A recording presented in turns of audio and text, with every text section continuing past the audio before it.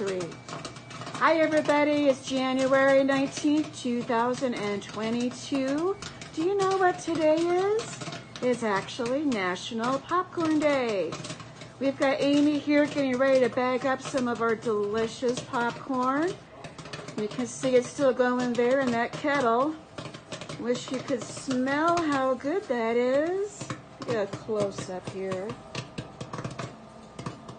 Just about done, ready for her to start bagging that up.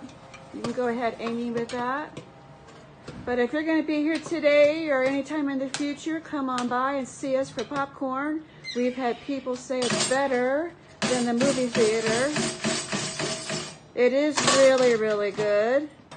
Our customers and staff alike like the popcorn. So again, it's National Popcorn Day. Come on by and see us. We'll have some fresh popcorn for you. Have a great day.